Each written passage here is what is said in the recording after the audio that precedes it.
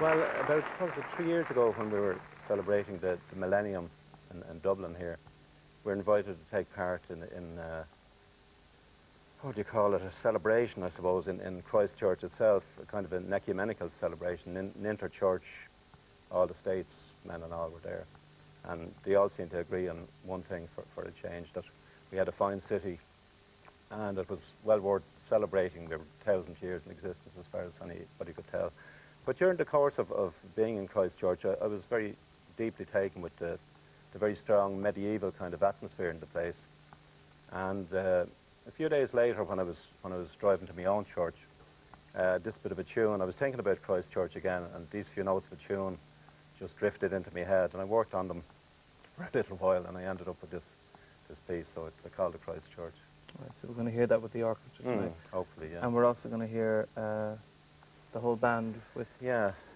Uh, well, Molly Malone, Molly I think is one of them. yeah, I'm sure everybody around the place, that seems to be internationally known. and Cla- Clavelitos? Clavelitos, yeah. Spanish? The Spanish Are love we song. singing in Spanish, John? Oh, yes, yeah. Oh, I see. At least Ronnie and Sean are. Ronnie and Sean both spent Multilingual. Yes. they spent some time in Spain. In, in, in their- Ronnie actually taught in Spain, didn't he? Yes, he taught English apparently.